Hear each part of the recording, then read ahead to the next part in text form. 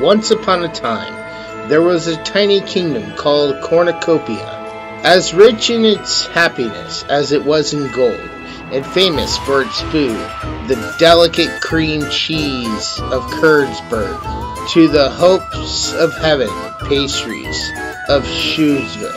Each was so delicious that people wept with joy as they ate them. But even in this happy kingdom, a monster lurks. Legend tells of a fearsome creature living far to the north in the marshlands, the Ickabog. Some say it breathes fire, spits poison,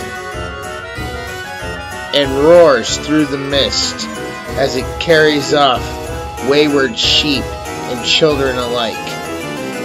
Some say it's just a myth, and when that myth takes on a life of its own, casting a shadow over the kingdom, two children, best friends, Bert and Daisy, embark on a great adventure to untangle the truth and find out where the real monster lies, bringing hope and happiness to Cornucopia once more. The Ickabog. Written by J.K. Rowling. Read by Stephen Fry. Hello. So in my past video, I mentioned that many big YouTubers that review books often review the same old names, J.K. Rowling being one of them. Now in that video, I said that I do not disagree with reviewing big named authors.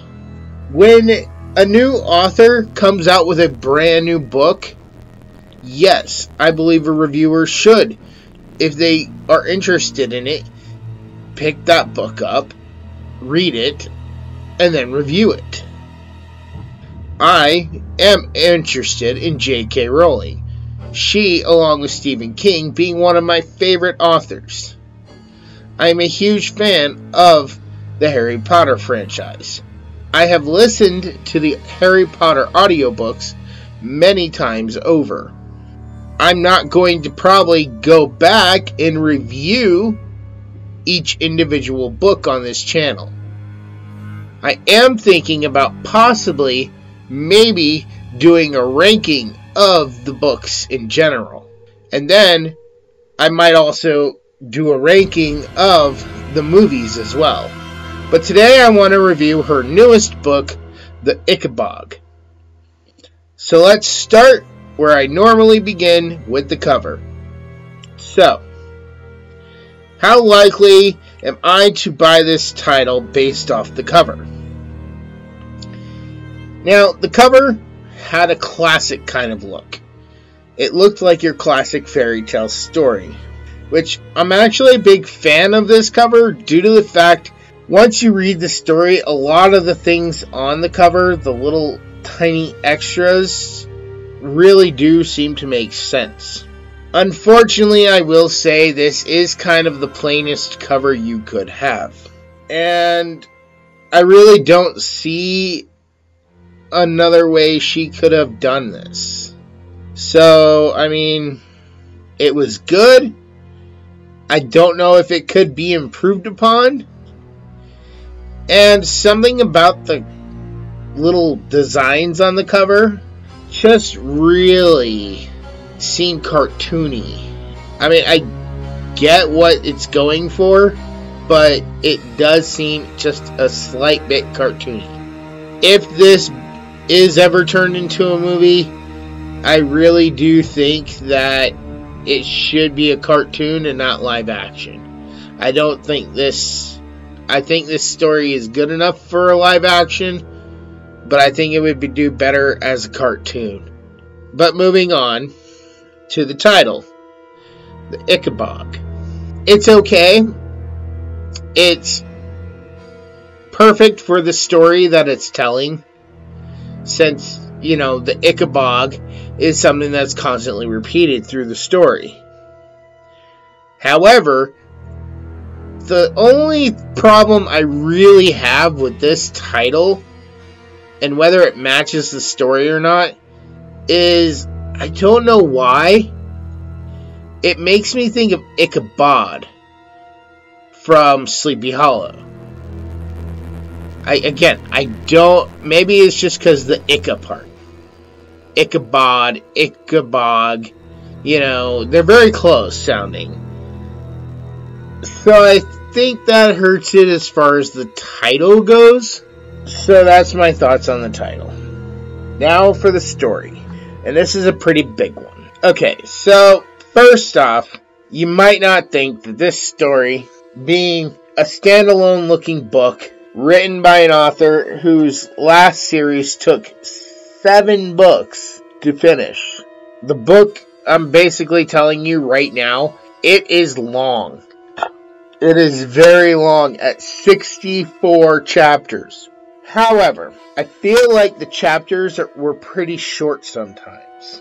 Now, I can't tell you this because I did not read it. I was listening to the audiobook of this, but just based on what I heard, it was very much it seemed like the chapters were very short compared to the chapters she wrote for Harry Potter which I don't have a problem with. I myself, in my own book series, I do short chapters too. The reason why is because people are very busy nowadays, and they don't have time to sit down and read long chapters unless they're heavily invested in the book.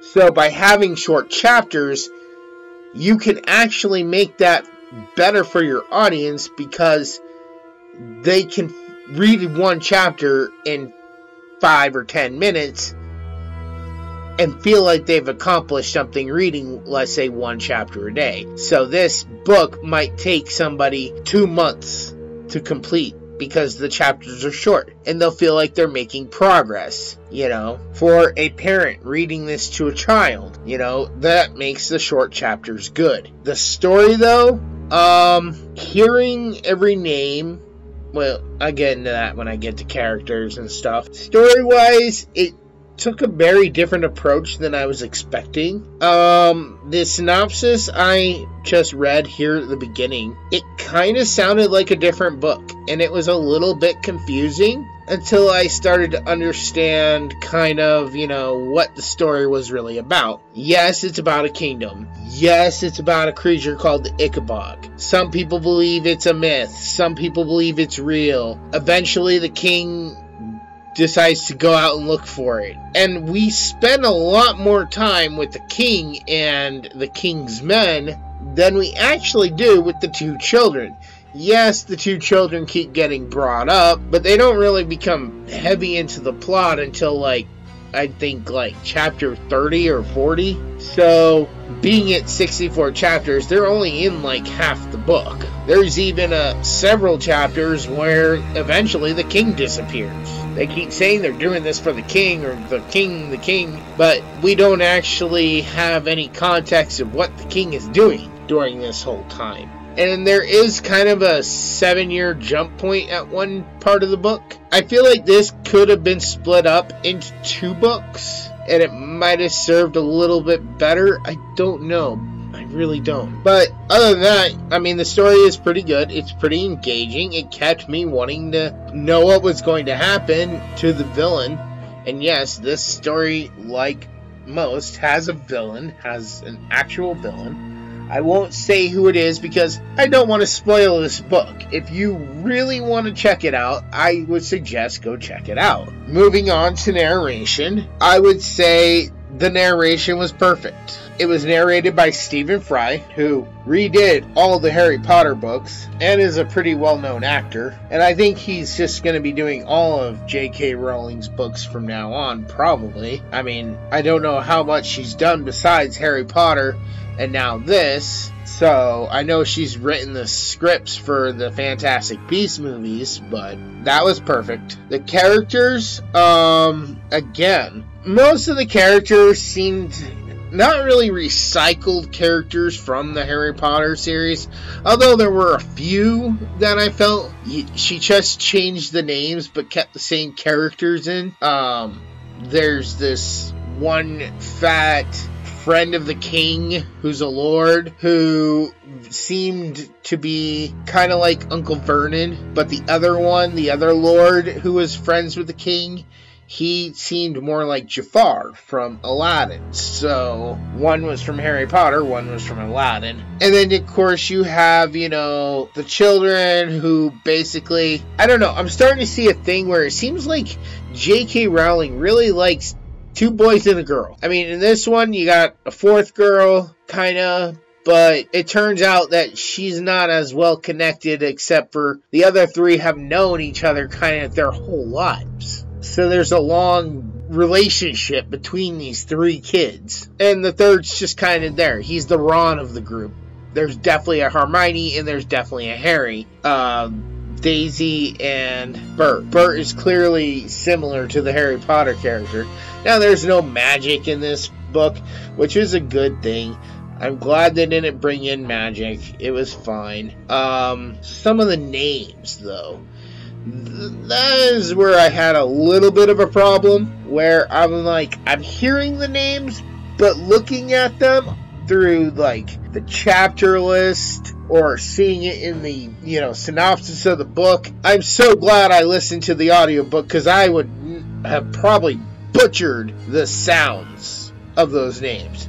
So, yeah, I think may, hopefully the book has some kind of uh, pronunciation guide at the end. I'm not seeing anything, so at least if you got the audiobook, you don't have to worry about the pronunciation. The ending. Now we're moving into the extras. The ending was a little bit predictable once you figure out where the story's going. The audio level, I'm not even going to bother with the audio level because this was professionally done. I mean, this was up and ready to go the day the book launched, so and the dialogue. It just, like I said, it it's by the same writer, so it felt like similar dialogue to Harry Potter. There isn't much of a difference. Maybe that's because I listened to it and I didn't add in my own flair or thoughts as I was reading it. But hearing, you know, him read it, you know, it was fine the dialogue was exactly like in Harry Potter. When characters talk in Harry Potter, you could throw the same characters' faces on here. But one problem I did have, which I should have brought up when I mentioned characters, is the descriptions. I did have a problem with how things were described. Because in the beginning of the book, it's described that Cornucopia is this small little kingdom.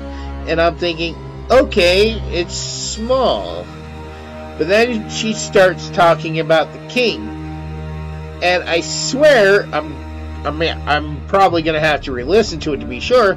But it sounded like she said the king had four arms or something. Five mustaches. I'm thinking, what kind of a weird kingdom are we in? Is this even a human kingdom? But later down the road, you discover, yes, this is a human kingdom. So I was like, okay, so maybe I misheard something about forearms.